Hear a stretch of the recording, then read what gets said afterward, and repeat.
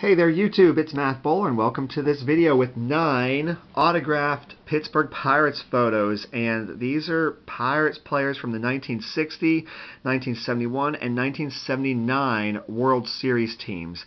I purchased all nine of these off of an individual through a Pirates Facebook group and I'm really excited to show this to you. I honestly wasn't planning to show you this for a while because I have so many videos that I was planning to show for probably last me now through let's see I do once uh, every I do a TTM video every Monday I do another video on Wednesday and on the weekend and um, yeah I have enough to last probably through March but I had to do this because I saw this amazing episode of Inside Pirates Baseball. Those of you who are local, you know the deal here with Inside Pirates Baseball. Um, it's like the show that the Pirates do half hour segments during the Pirates season every, you know, they switch it up every few weeks and then outside the season they do some as well. That might be a half hour or an hour. Well, my buddy Ed contacted me saying, you know, he said, hey, on Friday at 9 o'clock there's this Inside Pirates Baseball called Clemente's Departure. You really should watch it. It was an hour and a half long, and it felt like it was five minutes long. I absolutely was amazed by it. And um, yeah, those people in Pittsburgh, you know, value and appreciate Roberto Clemente. Um, and I'm hopefully, you know, the people who appreciate baseball do as well. I know the younger generation may not be as familiar, but uh, if you're in Pittsburgh, you are brought up knowing everything he did, um, not just on the field, but off the field as well. And it was beautiful. All the former teammates talking. So I thought, well, pretty much most of the people in this video were on this show as well. Plus, and then uh, and then last night I woke up and I got some more subscribers and I realized I got a shout out. So hey, thank you, angry old man. Shout out right back at you. A link for his channel is in the description below. He's got a bunch of subs. He also has a bunch of good content. He does purchase videos and TTM videos. And he likes to talk the background of every person that he has, which I'll be honest, sometimes I skip ahead a little bit because I'm not the most patient person ever. But anyway, let's show you these videos. And Thank you for doing that. He, he's a nice guy. Don't let that name fool you. He's actually a nice guy. Uh, anyway, there are six players, nine autographs total, and I'm going in order of what I would consider to be least favorite to most favorite. Nothing against John Candelaria, but he's kind of grumpy whenever he you see him at autograph signings, which he's really cool about doing that. He comes back to Pittsburgh to greet the fans, to be with his fellow teammates, and he's really cool about doing signings with the Pirates, you know, for the fans. But dang, he has this odd sense of humor. He's kind of grumpy. That being said, man, was he an amazing human being. It was sad to see him tearing up talking about Clemente and the whole situations. So, um, in any case, John Candelaria, 1979 World Series pitcher. He had a no hitter as well, and uh, he pitched forever, like almost 20 years in the Pirates, or uh, almost 20 leagues in the Bigs. 20 years in the big leagues. I most of them, you know, like the first half of his career was with the Pirates. He also finished with the Pirates for a year.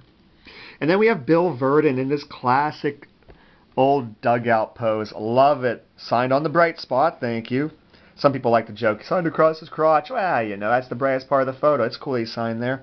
He spent a lot of times in the big leagues as a player and a manager. I don't think he was ever yeah, yeah, yeah, yeah. I was going to say he did win the 1960 World Series. He was the NL Rookie of the Year. That's right, National League Rookie of the Year uh, back in '55. So that's cool. He's also a really good TTMer. I send to him probably two, three times a year. So that much. I alternate donations with him. Um, next up, I have three autograph photos of Dick Groat. Best regards, Dick Groat. So this was pretty sweet I mean, Dick Groat is an outstanding athlete, outstanding Western Pennsylvania athlete. Uh, yeah, he, he had a big year in 1960. He was a World Series champ. He was National League MVP. Bunch of All-Star games. I think when I looked it up, it was eight All-Star games. But um, not only is he in the College Baseball Hall of Fame, but he's also in the College Basketball Hall of Fame. Two-sport athlete, two-sport star. Uh, I think it was Duke he played for. I don't quote me on that. Um, you know, he also did radio show uh, for Pitt's men's basketball for a while too. But that's a nice, cool action shot. Look at this beautiful old time photo here. That's so cool.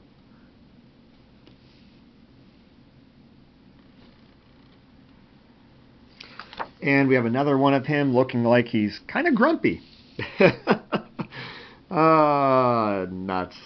anyway, uh, Mr. Groat, that's so great. Thank you. Big, big sports star, Western Pennsylvania sports member there. Um, next up, ElRoy Face, two of them. The Baron.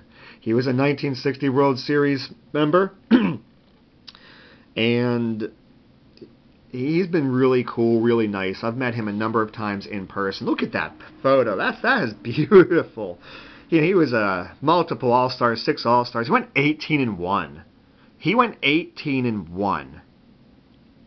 And he also like has a ton of games that he appeared in, all with the Pirates, and a bunch of uh, wins uh, as a reliever, like the most. I think it was almost 100, like 90 something, 90 something wins as a reliever.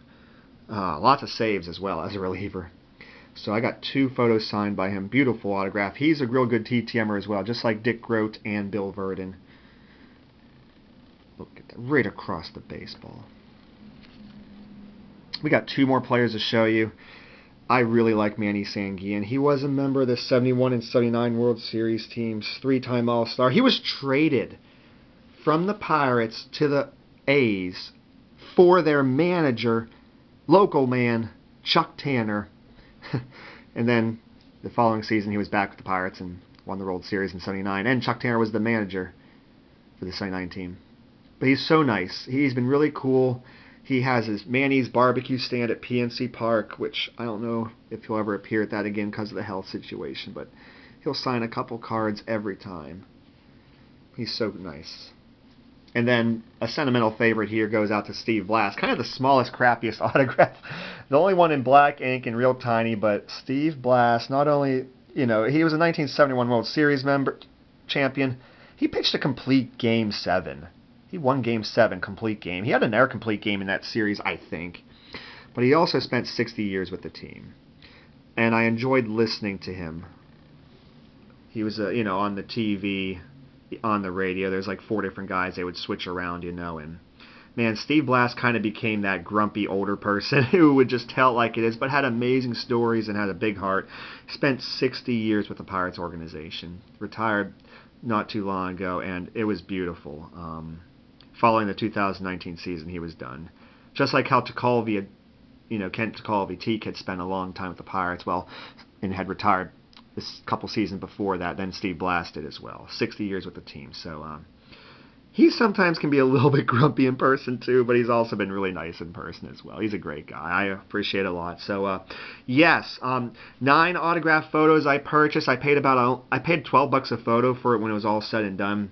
Uh, you know, no tax, no, the shipping was thrown in. So I was very happy with that. So that was a nice big purchase. I've been just, just kind of saving and figured oh, I'll show it whenever I get a lull in my videos, need something different. Well, this brought that up. I mean, Steve Blass was so emotional in that John Candelaria was so emotional. Manny Sanguillen was so emotional. Manny Sanguillen went into the water just searching and searching for him. Like not safe water, sharks, undertow. He didn't care. He wanted to find it. Oh my gosh, it was so sad. But so touching at the same time. So well done. This needs to not just be a, re- a local thing. This needs to be like everywhere. This was beautiful. Anyway, and of course, thank you for the shout out. That also prompted me to like, well, I'm going to make a video on the spot. Let's throw him in there. So yeah, I do a TTM video every Monday. I also upload another video on Wednesday and on the weekend. So usually on Saturday, but you know, it's all good. But um, I appreciate those of you who subscribe to my channel. I also appreciate those of you who comment below. Let me know down below what you think. Uh, and um, I always appreciate if you like, comment, subscribe to my channel. Take care, everybody.